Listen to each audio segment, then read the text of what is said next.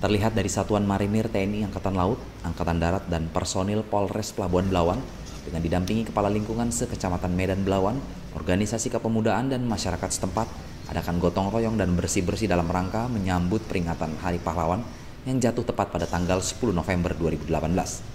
Kegiatan gotong royong ini dilaksanakan di Kompleks Pemakaman TNI Angkatan Laut, Jalan Hiu, Kelurahan Belawan Bahagia, Medan.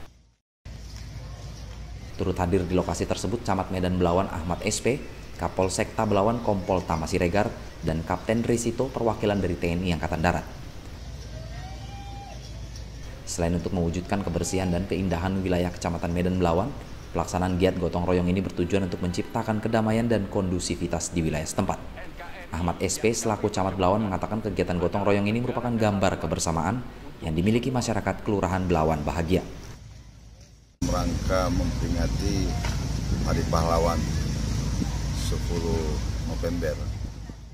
Dari Polres juga dari eh, dari PM dari Marinir dari Komal dari Lantamal eh, dari Airut itu semuanya ada sekitar 400 orang personil.